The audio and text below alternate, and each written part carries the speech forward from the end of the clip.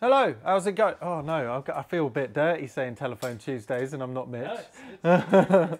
Hello and welcome to a Telephone Tuesdays. I know I'm not Mitch, but that's because I'm introducing this GEC PAX, which I picked up about six months ago or so. I did a video on the Look Mum No Computer channel about this. It's a PAX, which is private automatic exchange. Unlike the exchanges over there, this was made for talking within an office, so uh, phone to phone inside of an office. I'm not sure whether this specific one has an external line, that meaning you can call externally if you dial an extra number or something. But we'll talk about the the functions really quickly, but if you want to have a look closer about how this actually works and uh, what all of the things do, then check over on the video that I've already done about it and uh, what are the modifications I've done to it. We'll talk quickly about the modifications anyway, because we're here, we may as well. So this is a, a, GEC PAX 25 line. That means it's got 25 lines. Technically, this isn't actually a fully kitted out 25 line because it's only got quick maths, 16 lines. Uh, the full one would have, so these up here are line relays.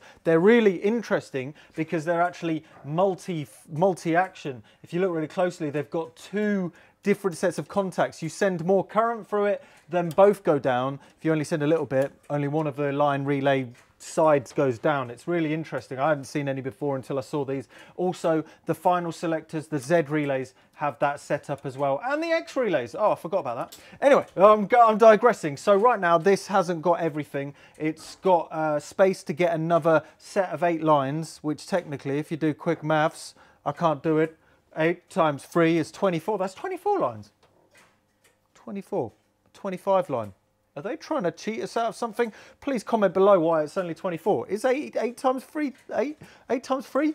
What it has is two line finders down here. Instead of the line finders in the UAX13 exchange, which is actually a two motion line finder, so it goes up and finds it, which means it can select between anything between zero and 100 phones. So you can plug 100 phones into it and you can find those. Technically, it's not actually 100 phones. I think it's got how many levels? 50 subscribers for like house people and 10 um, 10 kind of coin fee ones, you know, phone boxes. So, but you could, in theory, plug 100 phones into a, the line finder on the UAX13. This one, it's uh, a single motion, which means instead of it going up and choosing coordinates like in battleships, like four, five, it's a single motion one, so it actually uses a uni-selector and it's able to select between 25 different contacts, which means it's a 25 line. This can select between 25 different phones. It's not plugged in right now, but in the video you could see that's overlaid.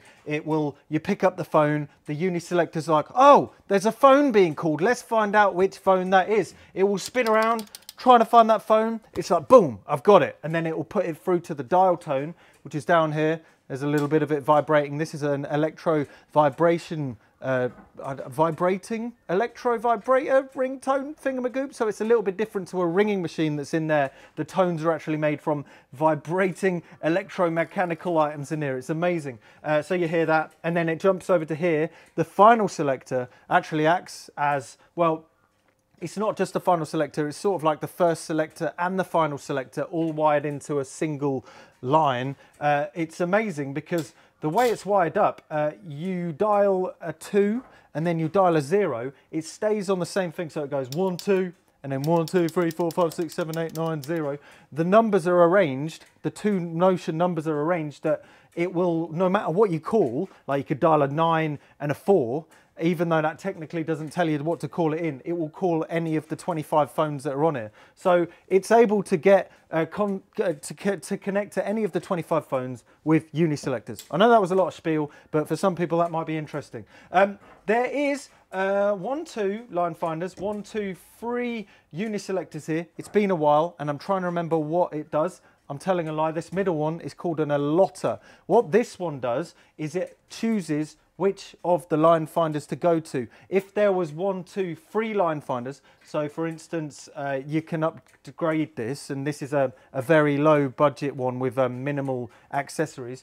Um, it can have up to three line finders. That means three phones can be picked up and phoning at the same time. This one's only got two, so that means you can only have two phones calling at the same time. What this middle one does is it allots between these two. So every time you pick up a phone, it will flick and that will say, let's go over to this line finder. So the next phone that gets picked up goes to that line finder. A lot of talk, not for everybody, but it might be for some people. But then it goes over to these two like, final selectors and the relay boxes go up here, but that's, well, it's not there. Uh, and this also has space for something down here called the executive line, which means that if the big person, big person picks up the phone and goes, oh no, it's engaged, they could push a button which automatically hangs somebody else up from their not as important conversation uh, which means that they could get, you know, priority to talking over the phone. So the executive line, I think that would have been a relay set of the relays sitting back here. But anyway, and then we look on the inside. What I did in that video was I,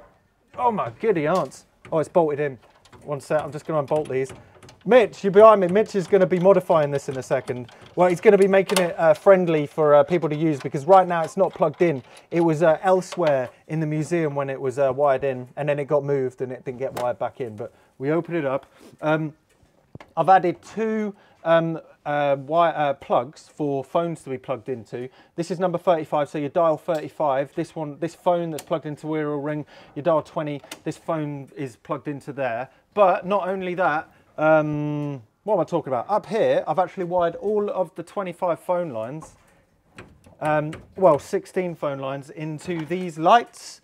So the idea is, it's you know that you don't need 25 phones to show what it does. So what you do is you dial it up, and you dial any of the numbers from uh, 2, 1 up to uh, 35 and 36 uh, you can dial and turn on a number, uh, turn on a light. It's not the most interesting thing in the world, but it's for people just to just to show it. People get they get a concept of how it works. There's also a couple of other lights like FSA, LF, B and C. These lights are for different relays just to flash on and off when you pick it up to show it does something. Um, if this is uh, a different, runs on a different voltage to the UAX13. UAX13 is 48, minus 48 volts, 50 volts around. This one runs on 25 volts. So I haven't wired, we haven't made a conversion box to, for this to call the UAX13 or the UAX13 to call this might happen in the future, but it's just figuring out how to get a 25, a 24 volt uh, uh, telephone exchange to talk to the 50 volt. Maybe it's simpler than what I'm thinking. I don't know yet. Uh, it's the same voltage as the one over here, the German one, which we haven't wired in yet. We'll be wiring that one in. This is a 24 volt one. They're both based on the same standards, which is from the Ericsson thing. I might have pulled that out of my bum, I'm not sure. But the plan is, Mitch, pop over here. What's your plan? So we're going to be adding a, um, instead of having a phone here, because it's quite a tight, narrow bit of the museum, um, there's a usually a plastic cover on here. Going to be putting um, a dial and a button for people to dial the numbers and make it light up, right? That's it, yeah. Because you don't actually need a you know an audio headset if you're dialing lights, do you? No. No, so. but actually, well, if we end up wiring this into the exchange, then maybe we'll have to, but we won't worry about that for now. Mm -hmm. Well, I've got this. Oh, oh no. Pop over here, I've got a new old stock. Actually, here's one. We've got new old stock in the bar, in the boxes. So we grab one of these? Actually, no, we won't grab one of them. We've got new old stock uh, dials over there. What's the nicest looking one we got? Just see if that one rings. Oh, oh, is this one all right? What do you reckon? Seems to work. Oh, it seems to do well enough. Well, yeah, maybe that one. And then what shall we one. use for a switch? That's it, because we need to, this is simulating the cradle switch, isn't it? When you pick up the phone yeah, normally. You pick up the phone, that, that makes a connection. Uh, we need to find a switch that will make a connection. There's a bunch of switches, I think, sitting around here. Uh, have a look in that drawer there, see if there's any switches, and I'll look over here. Oh my giddy aunts. Loads of stuff. I think, oh, oh, oh, here we go. I'm just gonna, so we're gonna find one, of, have you found one? No. Uh, we're gonna find a switch that'll do the job. Is it gonna be a permanently on switch or a momentary switch? It's gonna have to be a momentary, I reckon. Uh, momentary uh, is gonna be a little bit tough. They all seem to be. Oh, um. Be nice to use one of these key switches, wouldn't it? Uh, it's not momentary. Uh, maybe there, maybe there's an adjustment. I can't remember how the actual momentary mechanism looks, because there might just be a slight. I don't know where. Is there moment? Is there even?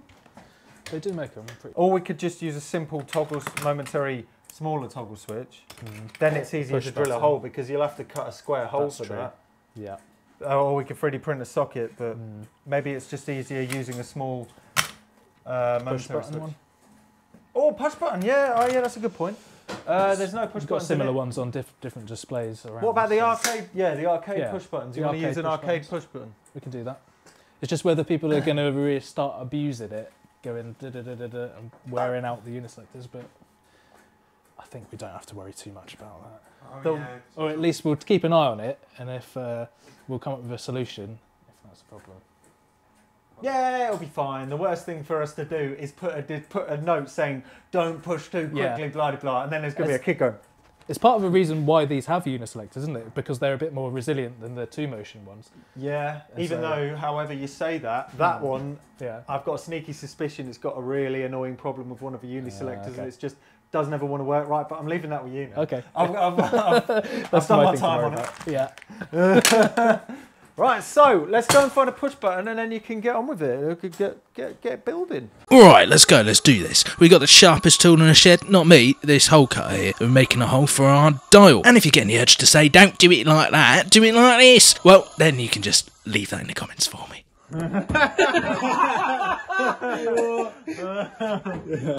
What a plum. So these telephone dials are not really designed to be panel mounted like this, so we've had to do a bit of MacGyver in and bent over these little tabs, if you can see those. And Ben had a clever idea, we can just use a nut and a bolt and we can clamp it to the backside of the panel. Do you know what? It actually works pretty well. It don't move around at all. And here I'm making the point that you can get any job done with a number 2 screwdriver and a pair of 81s. There we go, that's on there. Let's see if it's working alright. Pretty good. Beautiful. Now I've got to figure out where this little switchy switch is going to go. I reckon about there. We're using a spade bit here to cut the next hole. And the trick with cutting acrylic is go really fast, but you need to press very lightly. And I don't really want to talk about it. We had a bit of an accident. It was totally my fault. When I took the panel off, I, was, I, I cracked it by accident. I do want to talk about it. Don't worry, it didn't make much mess inside the cabinet. Now I'm wiring in the pseudo phone line into the exchange tag board at the back here to connect it all together and soldering it on nicely. And so the line comes out, goes into one side of the push switch, and then comes out of the other side, long low wee wire into the dial, and then back into the extension. So it's forming a loop, and it's getting interrupted by these two switches in series. Holding the push switch connects the circuit, which triggers all the line finder mechanism, and then the dial interrupts that circuit, which does all the stepping and switches you through the exchange to the phone that you want to call or in this case to light up a lamp. Can you see that little vibrator in there that does the ringtone? Put a little label on there so people know what to do. Here's Benny Boy calling up one of those lamps.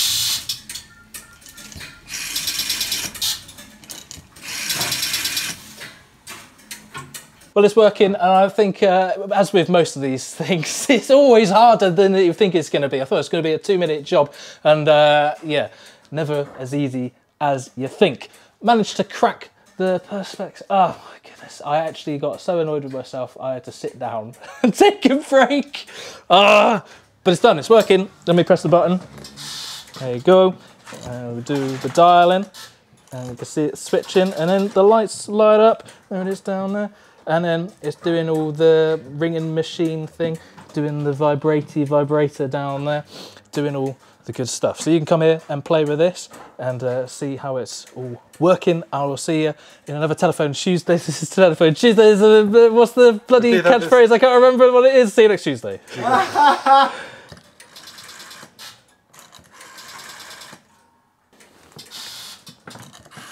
this is good actually. I've got your reflection in it. Hey. Yeah. There you go. Oh, yeah. Do it a few more times. Wicked.